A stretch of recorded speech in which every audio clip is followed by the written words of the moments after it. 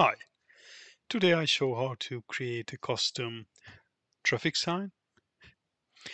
I will do in this example a pedestrian crossing sign, like a crosswalk sign.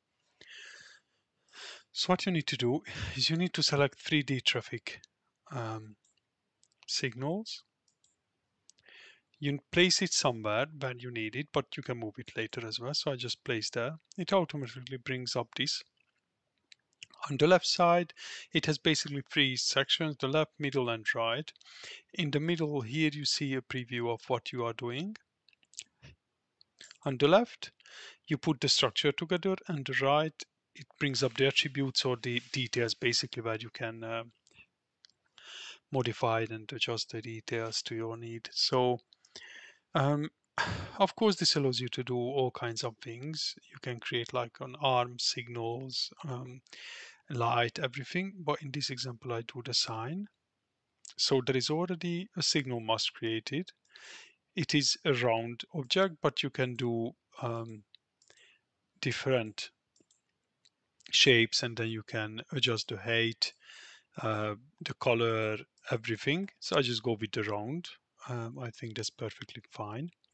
And then what you do, you click on the add sign and then it with the if you hold on control uh, sorry, the the middle button, you can uh, move uh, the uh, the view. Uh, if you hold on Control and you move the Control button, you basically move um, and in another axis. So um, you can hold on Alt as well. It uh, you can move in a different view. So you can um, play with that and here as well you can select if you have the this select tool selected um, you can select different parts as you see here it is structured and what is located on what you can see the rule how it is so like the sign is located on the mast so let me just look it from this side. If you select something, you can also move it if you um, select one of the one of the planes, you can move things around or the axes. So like on this or along that. So you can just play around with that.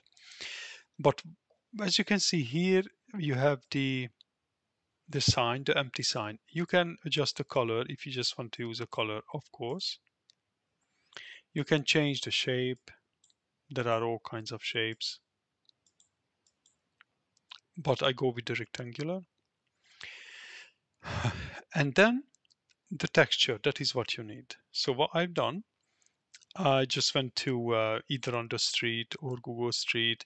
Just try to find a photo and just save it in a JPEG or BMP and then you just click there and it automatically brings up um, Vissim's inbuilt signs. So as you can see, there are VMS signs, variable message signs, but you don't need these, but you can still use those, of course. There are like um, crossing signs, way, pet crossing, but these are mainly American.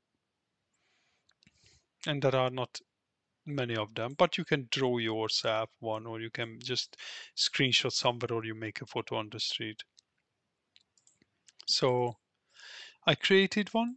I just basically took a photo and just cropped it in microsoft paint and that was it and then i saved it as a as a file and just select and it basically puts on it if you want to make it smaller or larger i would highly recommend to use the scaling instead so if you want to make it bigger just put 2 or 0.5 to achieve the size um, and the scale you want. If you play around with these and these, it will um, distort your image and doesn't feel out well. Uh, yeah. I think it's easier to just use the scaling in Vissim anyway, in other places as well. I think that just works better. Of course, there are other settings here you can play around so you can create your uh, desired sign and everything. and you can add more size if you want uh, you know you can uh, just uh, create another one a smaller one and and uh, you can just edit that and you can put stuff to it. I'm going to just delete that because i don't need another okay i selected the wrong one. Um, so i just delete that. So that's it. And if you go to 3d view it is basically that um, very easy to just go to the um, settings here and here you can just uh, rotate it. Of course the other you can just rotate it and you can move where you want scale it as well. And you have all the settings here you can add the attributes and manually so i mean adjust without the window but you can always just double click on it select what you want to edit either there or here and it works. I hope you liked it. Let me know in the comments if you have any um, ideas for future videos. And if you like and subscribe that would help the channel a lot. And also if you want to support uh, me and the channel please visit my patreon. Thank you very much